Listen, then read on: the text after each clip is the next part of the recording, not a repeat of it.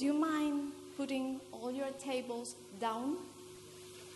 Do you mind putting all your papers on the floor?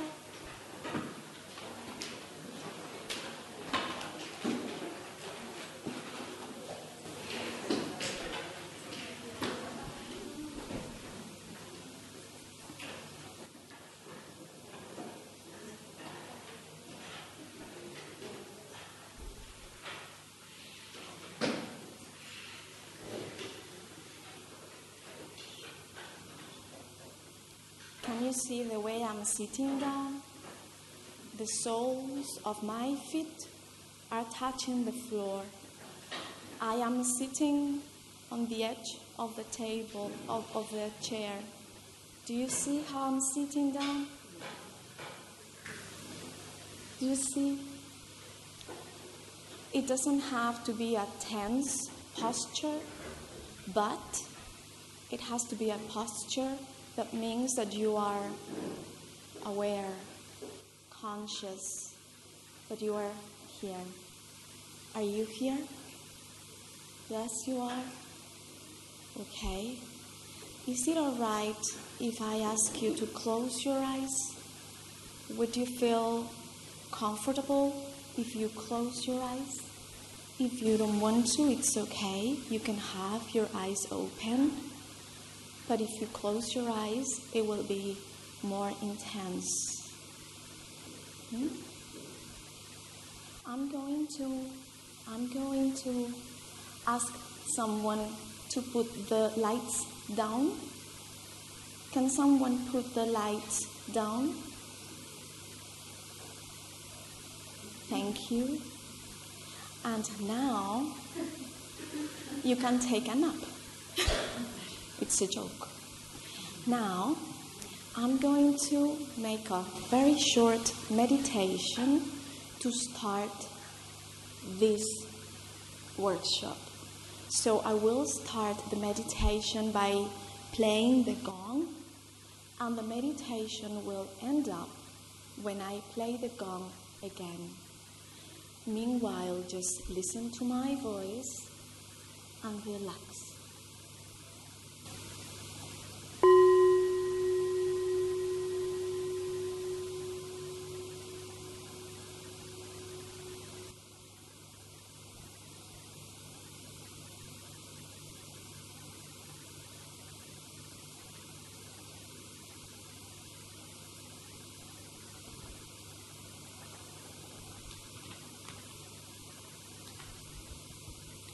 Sitting down in your chairs, gently closing your eyes and listening to my voice, I will start this short activity and we will finish maybe in five, ten minutes.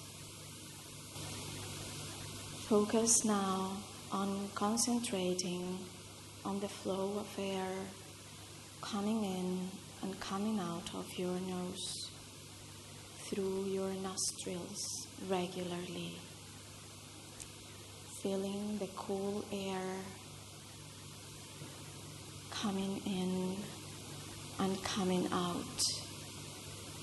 Notice how, when it comes in, it is cooler, but when it comes out, it is warmer going out of your body without trying to change the rhythm of your breathing, just observing it, just observing your breath.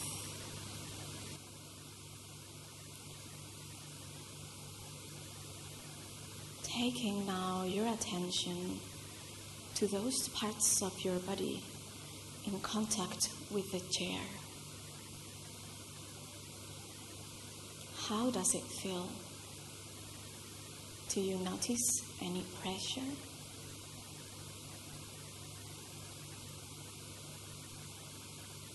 Keep on breathing with your breathing. Focus on the soles of your feet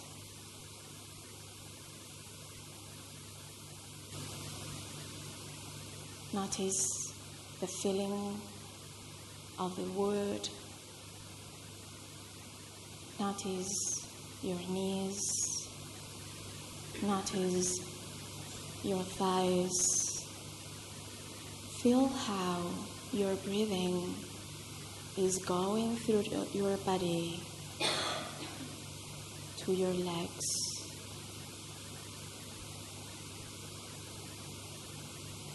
Your breath is coming in, your breath is going out. Move now to your belly. Do you feel the air in your belly? Does your belly go up and go down with your breath? Notice your hips. Notice your genital area. You are here. You are breathing in this moment.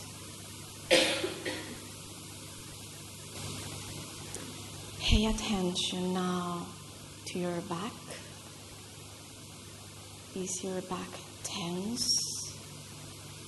Is it relaxed? You don't have to do anything. Just be with what you have. Don't change. Just accept what you have.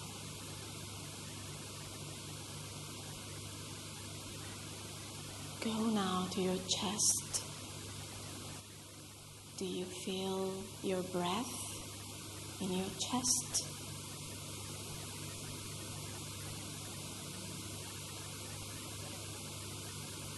Is your chest moving? It doesn't have to. Whatever your chest does is okay.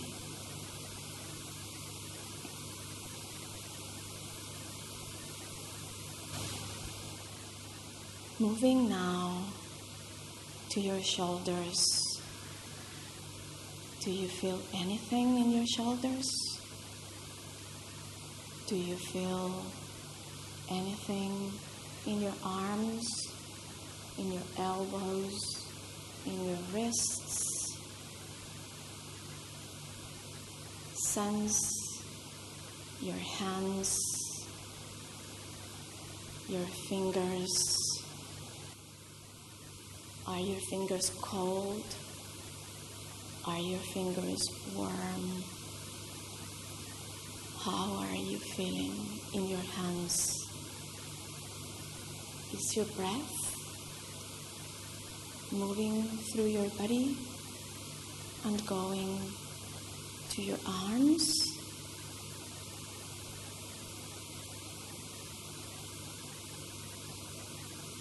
Whatever you feel is right. Just be with it. Accept what you have in your present moment now. Let me now invite you to go back to the place in your body where your breathing feels stronger. Maybe you feel it stronger in your upper lip, or maybe you feel it stronger in your chest, or maybe you feel it stronger in your belly. Just concentrate on that place where your breathing feels stronger. Follow your breathing in that part of your body. Connect with the sensations in your body. The air keeps coming in and keeps coming out.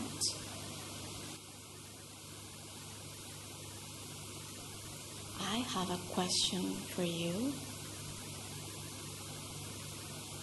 I want you to consider the answer? My question is what is your intention for taking this workshop? Considering this for a moment, thinking about your intention when taking this workshop. I'm going to ask you now to move this intention aside. Let this answer be aside. I'm going to ask you now another question. The second question is What is your intention for taking this workshop?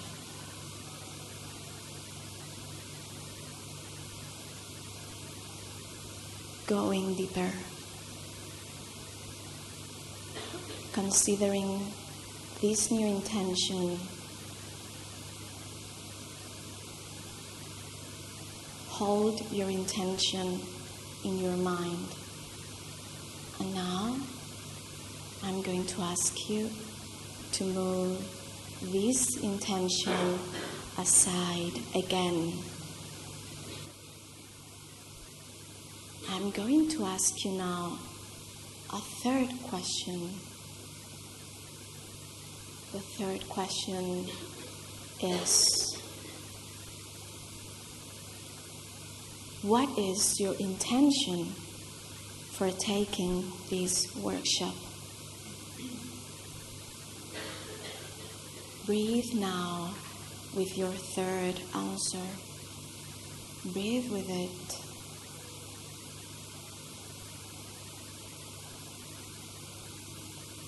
Be with your answer.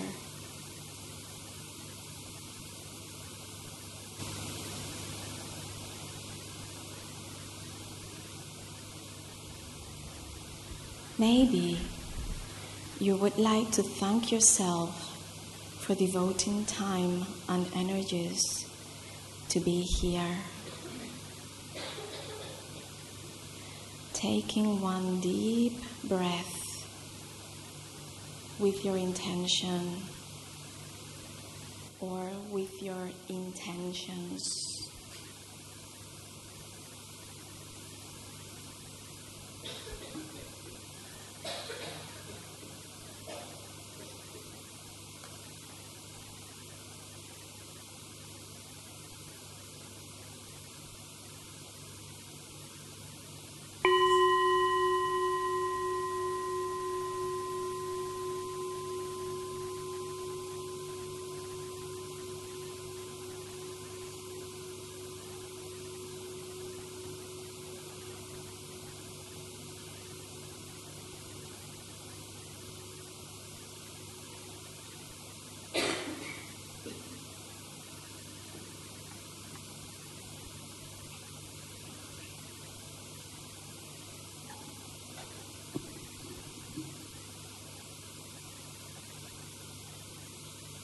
Welcome.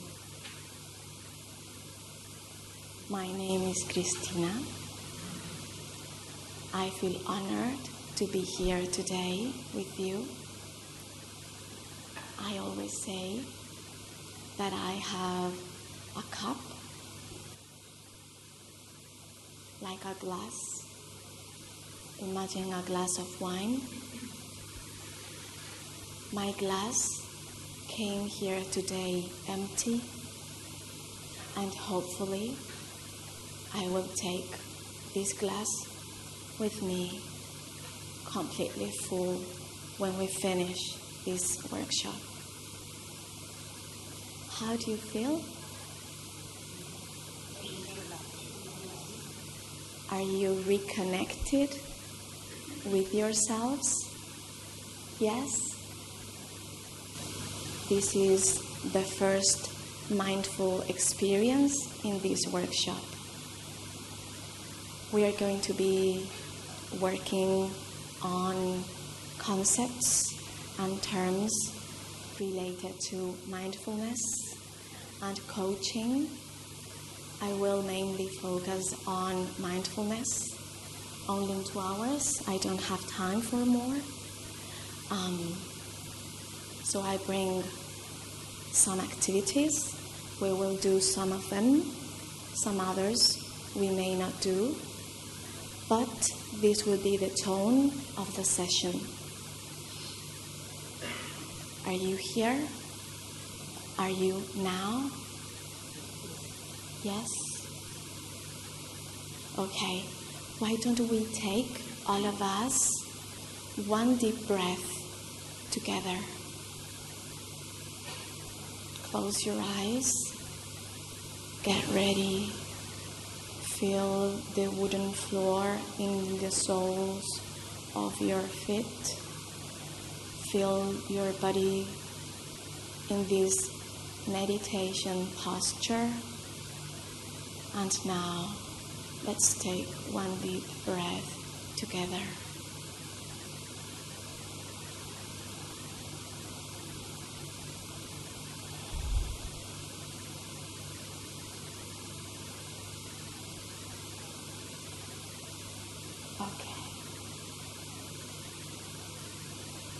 Do you mind putting the lights on? Or at least one set of lights? Maybe. That's okay. That's okay. Thank you. Okay. Um, I'm going to ask you um, to befriend the person who's next to you, but what you are going to do is just to look at that person for three seconds and smile. Don't say a word, just look and smile.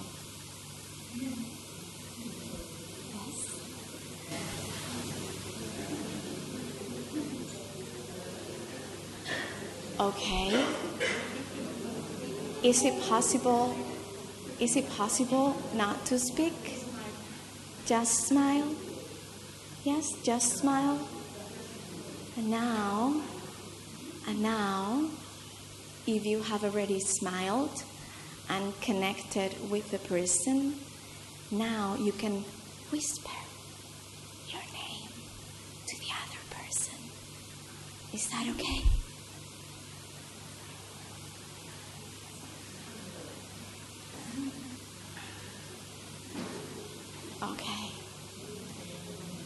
Yes. All right. Now, I'm to ask you to share your intentions. Do you remember? We were thinking about our intentions. Now, I want you to share with your partner your intentions. Maybe only one, maybe only two, maybe three. I want you to share what is your intention for say, taking this workshop? Hmm?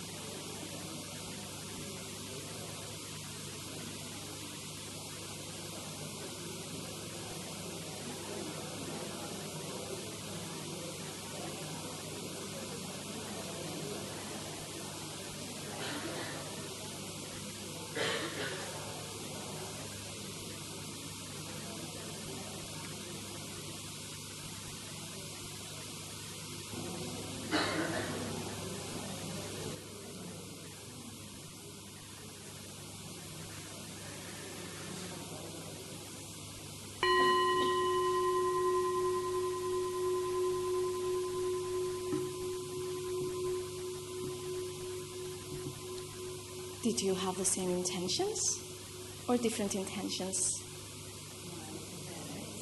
More or less the same. Did someone have different intentions? Same intention? Can I know your intentions? Can someone tell me? Volunteer?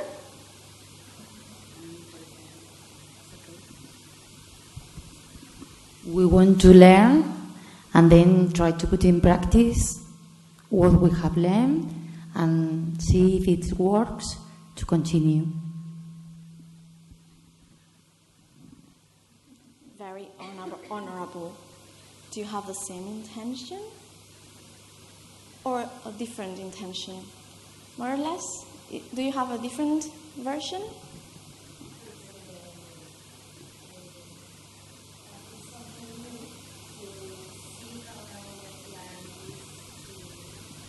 Okay, all right.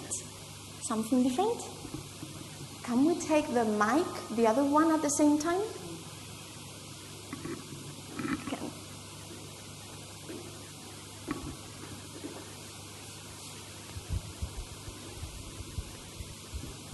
I think that first we have to um, practice this activity of mindfulness uh, personally and feel it personally at home and in our life, and then transmit them in class to our students.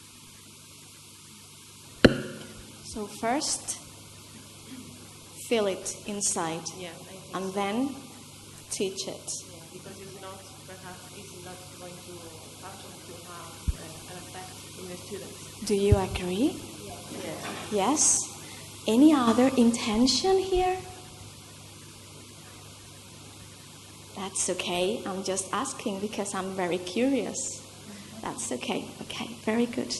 I'm going to ask you now um, to go to your handouts, the handouts that I have given you, and I'm going to ask you to go to the second page.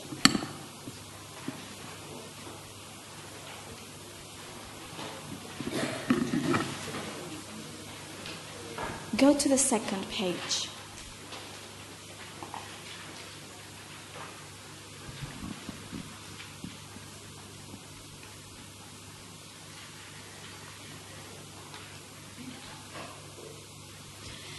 Now that you are in this mood, more connected to yourselves, now I'm going to propose you to do um, an activity which is a very private activity.